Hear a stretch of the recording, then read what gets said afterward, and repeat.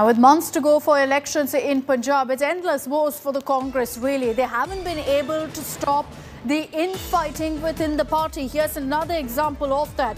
In a no-holds-barred attack, Punjab Minister Rana Gurjeet Singh called State Congress Chief Navjot Singh Sidhu a political mercenary and alleged that he's divided the party. The minister also accused Sidhu of questioning the loyalty of true and traditional congressmen and said that he joined the party just to become the chief minister. So Rana Gurjeet Singh not holding back there, going ahead and uh, attacking Navjot Singh Sidhu. We will, of course, track this very, very closely and get you the latest updates on exactly what kind of reaction comes in from Navjot Singh Sidhu on this. But what's very clear is that the Congress continues to face an unprecedented crisis in the state of Punjab.